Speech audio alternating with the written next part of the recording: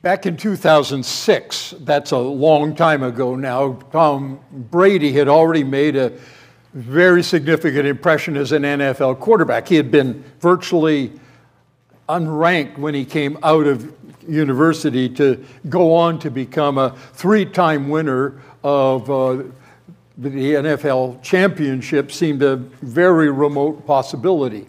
But he'd done that, and he was on 60 Minutes uh, talking about all of those things. And in answer to one of the questions, he said something that was surprising.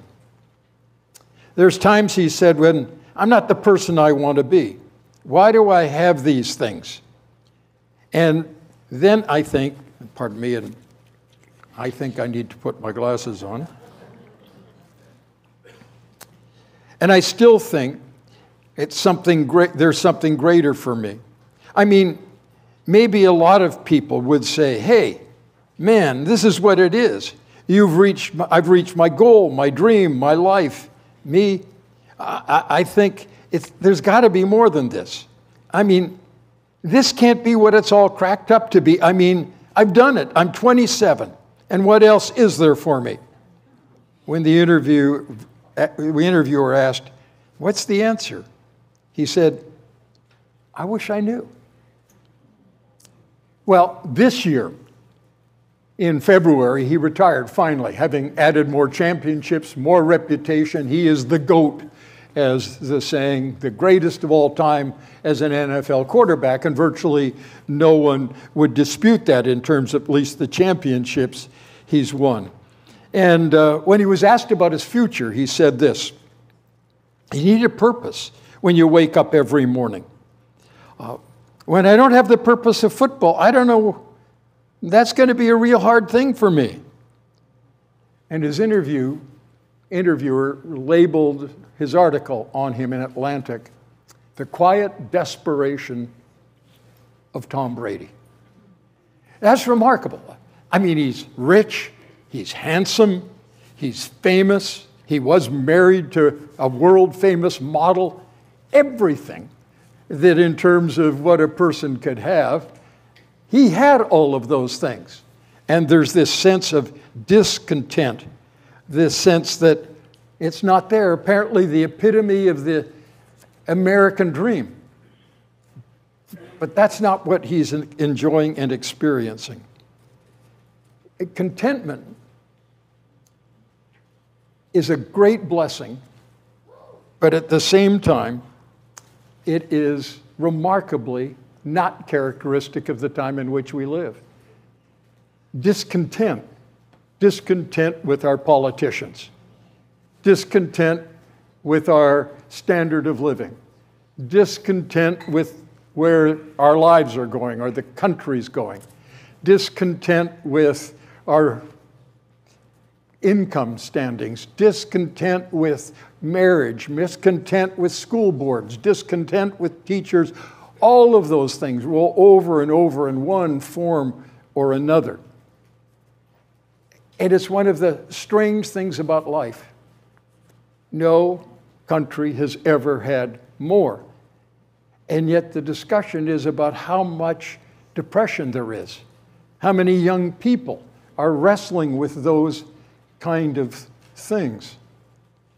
Contentment is a very rare commodity, and discontent seems to be the defining characteristic of our age. And when you think about it, it's, on one sense, no surprise. When God put Adam and Eve in the garden, He gave them everything, everything to enjoy, except one tree that they weren't to have the fruit on. And Satan comes in, and his point of attack is why not that tree? What's wrong with that? And all of a sudden, their eyes were filled with not wonder at the strength of God's provision, but discontent at what they didn't have. Contentment is a great gift in the way we live life. But 400 years ago, Jeremiah Burroughs wrote a book as a Puritan entitled The Rare Jewel of Christian Contentment. Because just because we're believers, it doesn't mean that we don't have a battle with discontent. And the ally of discontent is covetousness. And so, as we come to where we are in 1 Timothy, there, uh, there's this interruption of Paul's discussion to think of the people to whom he's writing and saying, let's get very practical here.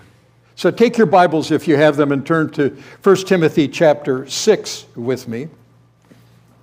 And let's begin reading. We'll read verses 3 to 5, not because we're going to focus on them, we looked at those last week, but because uh, we're going to have them as a launching pad into verses 6 to 10. Teach and urge these things, the end of verse 2. If anyone teaches a different teaching, a different doctrine, and does not agree with the sound, the health giving words of our Lord Jesus Christ and the teaching that accords with godliness. He's puffed up with conceit and understands nothing.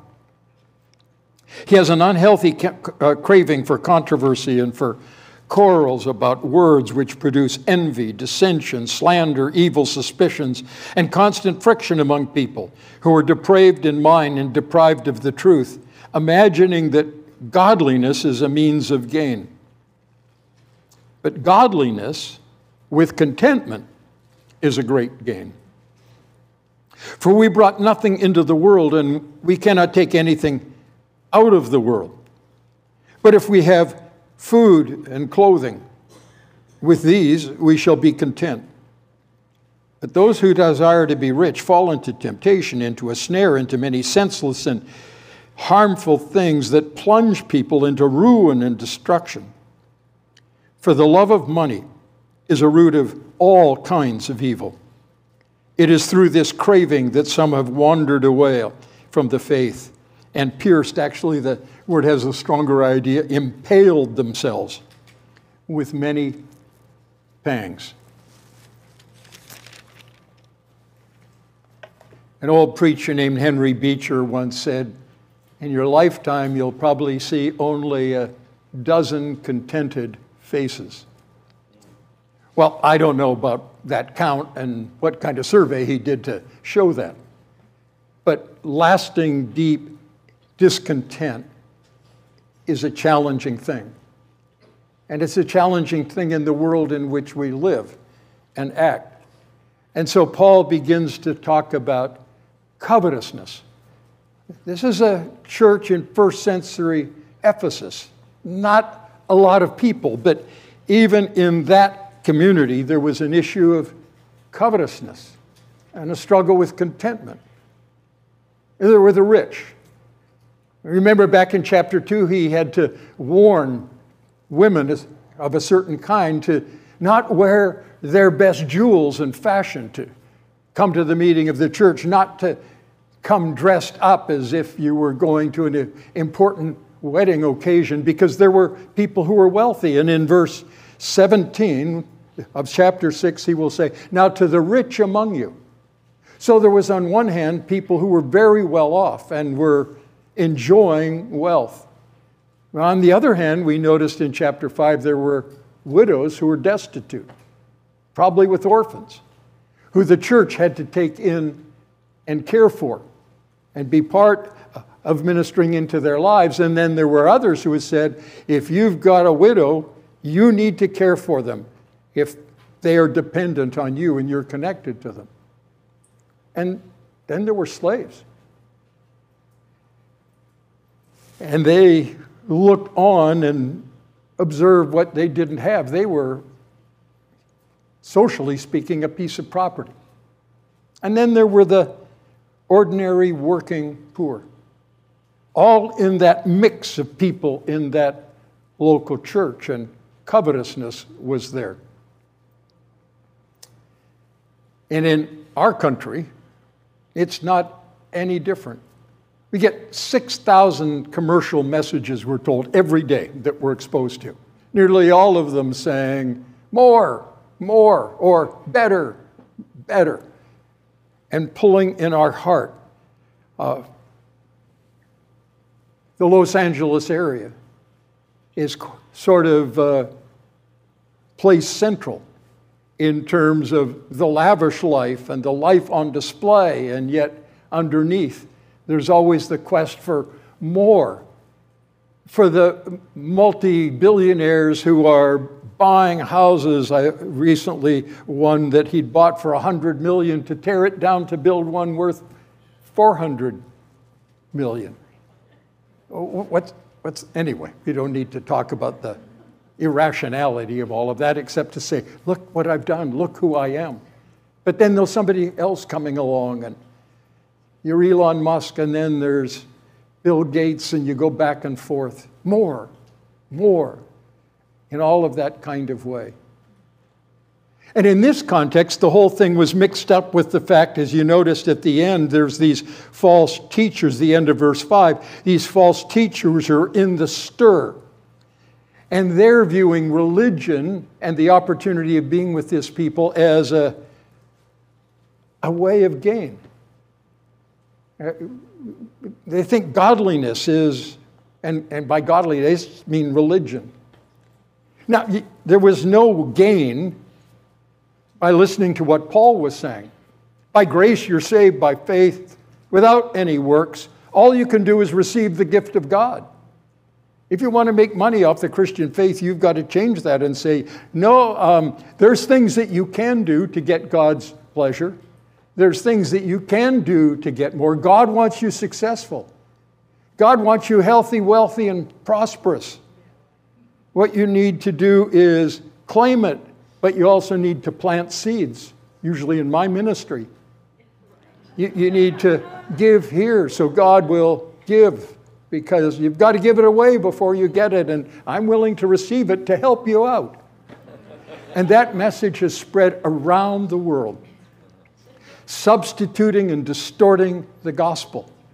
And it goes right back here. It's, in one sense, always been the case. It's interesting. Peter writes in 2 Peter chapter 2 There will be false teachers among you who will secretly bring in destructive heresies, and in their greed they will exploit you with false words. And that was already going on in the church here, and Paul is talking about it. So I want you to notice he doesn't say it in quite this way. What he says as he is talking about covetousness and the way covetousness ultimately fails us. In, in, verse 3 to 5, ultimately says that covetousness will corrupt our view of truth. It will distort the way we see God, and we will see God as our bank account on whom we draw, rather than our Lord before whom we worship. The rich young ruler in the presence of the Lord. What do I do to inherit eternal life? Give all you have. And he went away discouraged or broken because that was a price he wasn't willing to pay or consider. Or you think of Lot as we'll see, because we're going to move into Abraham a little bit later, who uh, sees Sodom and leaves where God has called him to be to go seeking Sodom. You see Demas, who Paul says has forsaken me, seeking this present world. And even distorting the truth in terms of altering your theology. And we see that happening in the world around us. The second thing Paul says about covetousness is that covetousness values what we can't keep. I mean, that's, I think, something of the sense of that rather interesting introduction in verse 7, having made his statement, godliness with contentment is great gain. He said, We brought nothing into the world and we cannot take anything out of the world. But if we have food and clothing, with this we will be content. There's something here of the words of Job. Everything's been stripped away. He's sitting there in the presence of God, but you remember his words Naked I came from my mother's womb, naked I will, shall return. The Lord gave, the Lord has taken away. Blessed be the name of the Lord.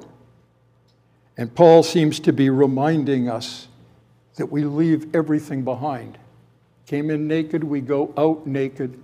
And all kinds of things happen in between, but in terms of what happens and counts for eternity, be content. And thirdly, he says at the beginning of verse 9 that covetousness arouses within us all kinds of temptations. For those who desire to be rich fall into temptation, into a snare, into many senseless and harmful desires that plunge people into ruin and destruction. Saw it this week. A senator corrupting himself for money, for gold bars and bags of money, plunged into deceit. And he, from all accounts, is a return customer into the, that kind of line. And we've perhaps known people and looked at them and thought, I never imagined that you would do that. I can remember as a teenager, two guys who were maybe four years older than me part of our church, getting into things that I, I never could have imagined, given who they were and what their background was. And over time, in different places of life, it has an addictive capacity. That's the fourth thing. When he says the love of money is a root of all kinds of evils. Not the root, and not of all evils, but it's a root of all evils. It has that capacity of saying more, more.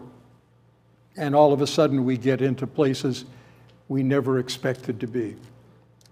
And then finally, he says of covetousness in the end of verse 10 that they pierce themselves with many goings as they wander away from the faith. But Paul's not simply condemning covetousness and warning against covetous. Be on your guard against all covetousness, uh, all kinds of covetousness, Jesus says in Luke 12, 15. For a man's life does not consist of possessions, even when he has abundance. But Paul says, in contrast, godliness with contentment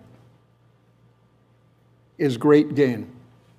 Now we need to go back to what he talks about because in verse, not, uh, verse 5 he says that they think godliness is a means of gain.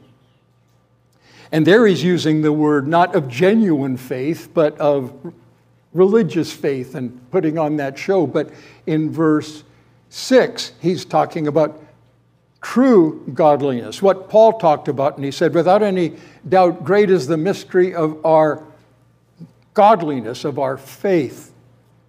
God was manifest in the flesh. And so the reality of the truth of the gospel is that God has come to live among us for his glory, and that godliness is the core. But godliness with contentment is gain. Notice, godliness is gain. If you're trusting Christ, godliness is gain. But godliness with contentment is great gain. Uh, the word contentment's an interesting word. It means, in one sense, self sufficient. And the Stoics loved the word. It was a word of Seneca and others of the great poets who talked that the man who is a mature man and a wise man is disinterested in the externals of life around him. Whether it's people, whether it's possessions, whether it's favorite activities, he is a man who is self reliant and totally reliant upon who he is. And he delights himself in detachment. So the very word stoicism, that sort of attitude to other things, that they don't really matter, I'm all that matters. And interestingly, it's a philosophy that's found in increasing kind of resonance in a modern time where young men are struggling in all kinds of ways. And intriguingly, for some of them, the stoicism of a Jordan Peterson comes along and uh, draws them in in a particular way. But that's not what Paul's talking about. And, and Paul's not talking about a kind of resignation. It's kind of, well, that's all I can expect. And he's not dealing with a kind of attitude that says, I, I, it just doesn't matter. Or a kind of attitude that just is, I've got what I've got, and that's all I need. Because Paul knew what it was to say, I don't consider myself to have arrived. I forget what's behind and I press on so that I may gain everything in Christ. No, it's not an attitude of indifference to life or complacency. Another place says, it's my ambition. Take the gospel where it's never been. So when Paul's not talking, uh, talking about contentment, he's not talking about complacency. He's not talking about accepting the status quo. What he is talking about is a deep inward sense of rest and peace that is found in knowing that God and His promises and His presence and His provision is adequate for what He needs in life. It, it's what Jesus is saying Come unto me, all you who labor and are heavy laden, I'll give you rest to your souls. Contentment is soul rest. Take Take my yoke upon me, on you, and learn of me, for I am lowly, meek, and gentle in spirit. Or it's my wife's, one of her favorite psalms. It's a fascinating little psalm. Let me read it to you. It's the shortest psalm in the Old Testament. My eyes are not raised too high. Pardon me, O Lord, my heart is not lifted up. My eyes are not raised too high. I do not occupy myself with great things, too great and too marvelous for me. But I've calmed and quieted my soul like a weaned child upon a mother. Like a weaned child is my soul within me. O oh, Israel, hope in the Lord. From this time forth, and forevermore. It's obviously a picture that a woman who's given birth and has had children. And for the first year, the baby wants for what it gets. But there's a time when a mother lies there with that child, now weaned, just resting and delighting in the presence of her mother. It's a very strange figure of speech for David, the king, the warrior, to have thought of, but it's a picture of a contentment. Now, take your Bibles and turn with me to Philippians chapter 4, because I want to uh, pick up what he says here. Godliness is with contentment is great gain. And here, Paul talking about godliness in a different context or uh, contentment in a different way. He's received financial support from the Philippians. And in Philippians chapter 4, he is giving them thanks for that. But he does it in a profoundly significant way. I rejoiced in the Lord that now at length you've received, revived your concern for me. For you were concerned about me, but you didn't have the opportunity. Not that I'm speaking of being in need, for I've learned in whatever situation I am to be content. I know how to be brought low, and I know how to abound. In any and every circumstance, I've learned the secret of facing plenty and hunger, abundance, and greed. I can do all things through Christ who strengthens me. And many have heard that last verse, verse 13, quoted in every kind of context. Uh, I may be five foot eight and 80 years old, but I can do all things through Christ who's going to strengthen me, and I'm going to qualify for the Olympics. Well, nobody says anything quite that absurd, but something comes. I can do all things through, but Paul's not talking about it in that context. He's talking about it in the context of verse 11. And he says in verse 11 that I'm speaking, pardon me, in whatever situation I am, to be content. I can do all things through Christ who strengthens me. I can deal with wealth. I can deal with abundance, not because that I'm able, but through Christ who's in me. It is his recognition that the source of contentment was Christ.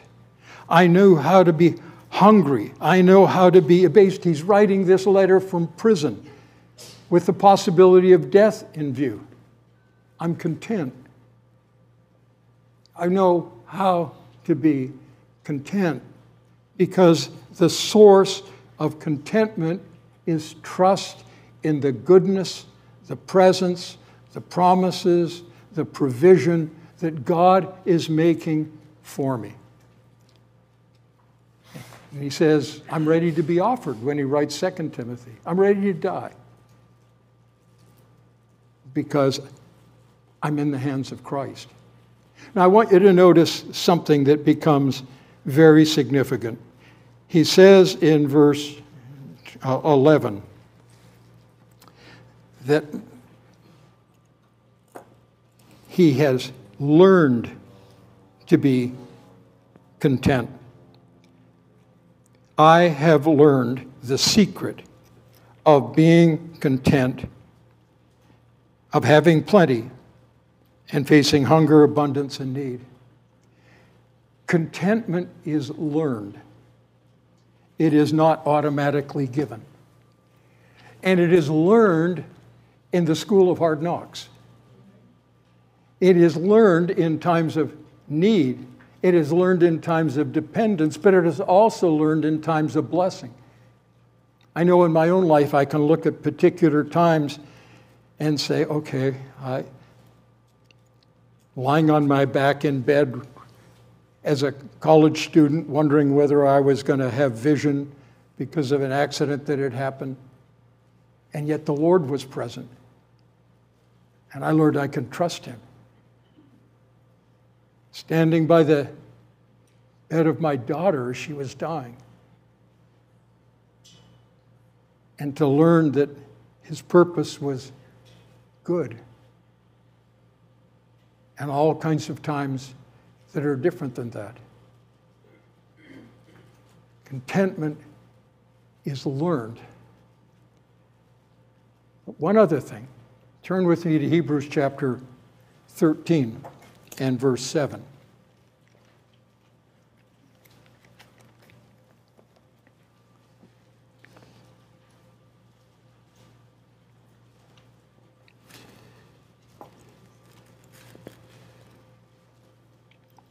Well, we'll start at verse 5. Keep your life free from love of money and be content with what you have. For he has said, I will never leave you or forsake you. So we can confidently say, The Lord is my helper. I will not fear. What can man do to me? Did you notice? Contentment is learned, but it is also commanded. Be content. And that's a battle we fight. It's not an attitude that we suddenly get. But the source of that is, notice, the provision and the presence of God. I will never leave you or forsake you. The Lord is my helper. I will not fear. For what can people do? A wise man said, Contentment makes a poor man rich. Discontent makes a rich man poor. Be content. Godliness with contentment is great gain. I preach to myself, boy, it is so easy to say all of these things and to know the grasping of my own heart and the envy that sometimes comes, the desire for those kind of things, sometimes physical things, sometimes social things in terms of status and prominence, and all of those other ways. But we need to recognize the ever present pressures of more or better. And recognize this side of heaven, they will never be absent from us. But we also need to realize the ever present promises of God in Christ. I have learned to be content. I can do all things through Christ who strengthens me. He will never leave me or forsake me. I want those other things. Part of me desires those other things, but where I am now, I will fight the battle of content. And clearly, although he doesn't say it in this passage, part of the battle of discontent, part of the battle of covetousness, is part of learning generosity. Of rather than being grasping to what we have, of being generous with what we have to learn content with even a little less in that particular way. They think godliness is a way to gain. Godliness with contentment is great gain. Keep your life free of the love of money, but more. Well, it's not wrong to have more. And God graciously gives more. There were people who honored God and they had great wealth. An Abraham, a Job, a, a David. But contentment is the battle God calls us to. And inevitably, the battle of contentment comes back to realizing God has given me everything I need in Jesus Christ to live a life that glorifies and honors Him. There's been times where Elizabeth and I, or sometimes me, have been in places with people who have so much less, and yet watch the joy of contentedness on their faces in an African village or in the jungle in South Africa or in a home church in communist China with the things that are going on around. And to see some brothers and sisters who are content and to feel called to come back and fill my heart not with those 600 messages that come every day in every kind of different direction, but the word of Christ I will never leave you. I will never forsake you. I died on the cross for you. I will come again to receive you unto myself. Trust me. We do that every time we come to the table, if we come rightly, to take these reminders that ultimately all that we need for time and eternity has been provided through the death and resurrection of our Lord Jesus. So we come to the table. It's the Lord's table. If you trust Him, He invites you to take these symbols. If you've never trusted Him, He invites you to cry out in your heart, Oh Lord Jesus, make yourself real to me. Help me to know that you died and rose again for me. So we're going to sing a song that reminds us that all our sin was placed on Him. And because it's on Him, we are free in Christ. So let's pray. Father, we thank you through the Lord Jesus for all that has been given us in and through the Lord, eh, our Savior. And we pray that as we now come to take these symbols, we would do so in a way that honors you and glorifies you. Thank you that you loved us and gave yourself for us, our Savior. In your name, we give thanks.